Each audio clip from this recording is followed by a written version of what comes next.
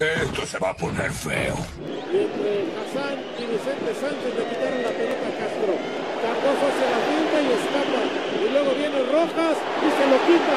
Y sigue Cardoso y toca para Ciña. No hay fuera de lugar. Cardoso la tiene. Toque para Ciña. Rafa, tiro. Cardoso remata.